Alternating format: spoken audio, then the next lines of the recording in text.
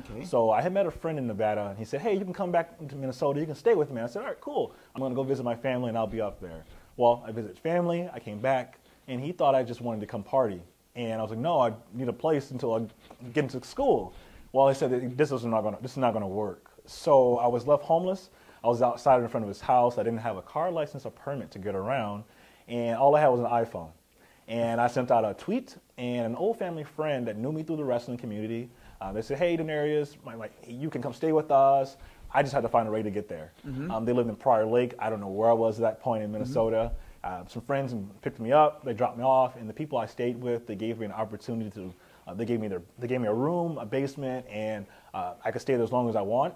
Um, I got accepted to every school in Minnesota, but I didn't have a car license permit to get around. Right. And then I eventually transferred to St. Cloud, and I didn't. Then I had another journey of being homeless up there too, um, while I was getting out of school and just trying to make it happen.